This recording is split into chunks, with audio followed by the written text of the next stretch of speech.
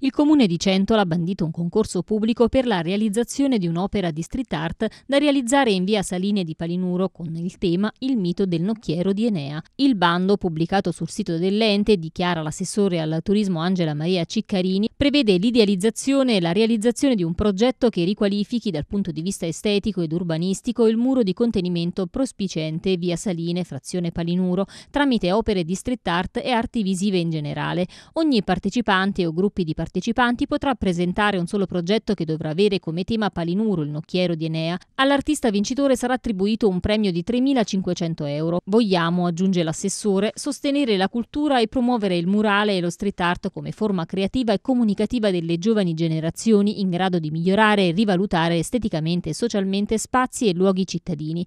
Un'operazione di riqualificazione urbana, ma anche un progetto che punta a valorizzare artisti emergenti. Il progetto coinvolge artisti in forma singola in gruppi che abbiano compiuto il diciottesimo anno di età residenti in Italia o all'estero. L'iniziativa intende inoltre promuovere la cultura della libera espressione artistica nel pieno rispetto della proprietà altrui in luoghi reputati idonei dall'amministrazione comunale per educare alla tutela e alla salvaguardia del patrimonio storico, artistico, monumentale e cittadino. Ogni partecipante o gruppo di partecipanti potrà presentare un solo progetto il cui tema, Palinuro il nocchiero di Enea, libro quinto dell'Eneide, potrà essere interpretato creato liberamente dall'artista. L'opera dovrà essere di dimensioni coerenti con la superficie delle aree di intervento, mentre la tecnica di realizzazione è libera, purché vengano utilizzati materiali adatti a luoghi aperti.